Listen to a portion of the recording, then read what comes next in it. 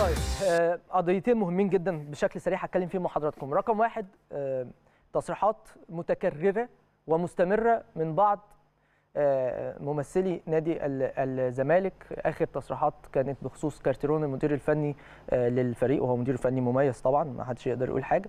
لكن الراجل على غرار ما يسمعه قال لك ليه اشمعنى الأهلي ما بيلعبش في الإسماعيلية يعني؟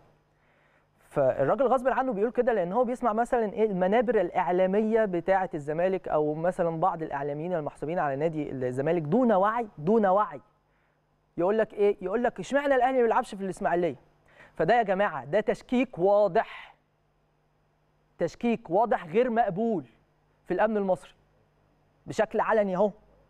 هم بيتكلموا بشكل علني. يقول لك اشمعنى ما هو الأمن هو اللي رافض يا حبيبي. يا حبيبي افهم الأمن هو اللي رافض. فالراجل المدير الفني على غرار التصريحات اللي بيسمعها تمام؟ قال لك ما هو الأهلي ما بيلعبش في في الإسماعيلية. لا يا جماعة كل الثقة في الأمن المصري.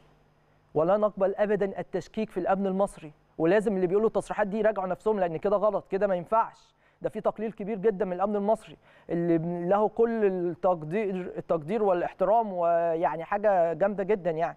الناس بتتعب قوي وعاملين شغل ممتاز في الحقيقة يعني في سنوات كتير جدا ماضيه يعني فده أمر غير مقبول. تيجي بقى إيه؟ ودي الجزئية الأهم بالنسبة لي. لما الكابتن سيد عبد الحفيظ السنة اللي فاتت كح بس عم... كده بس بس طلع كام برنامج كان مسخر لمهاجمه كابتن سعيد عبد الحفيظ وإيه اللي انت بتقوله؟ وإيه اللي انت بتعمله ده؟ وانت بتعمل بلبله وبتعمل فتنة وبتعمل شحن ما بين الجماهير. كح بس. طب آه، نفس البرامج دي ما اتكلمتش ليه على كارتيرون نفس البرامج ليه ما انتقدتش كارتيرون في, في تصريحاته؟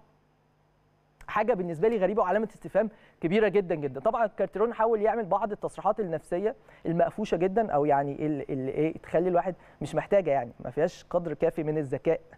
اللي قال لك أصل الأهلي هو الأقرب للقمة لا طبعا.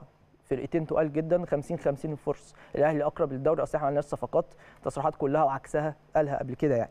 فدي آه، جزئية آه، مهمة جدا. أنا نفسي بس الناس لما تيجي تتناول موضوع ما يكون بمنتهى الحياديه لما تهاجم كابتن سيد عبد الحفيظ عشان مثلا قال تصريحات مش عاجباك هاجم برضو كارتيرون أو من هم يعني يتكلمون بنفس أسلوب كابتن سيد عبد الحفيظ لو من وجهة نظرك الأسلوب ده مش عاجبك. لكن ما تروحش ناحية والناحية الثانية لأ.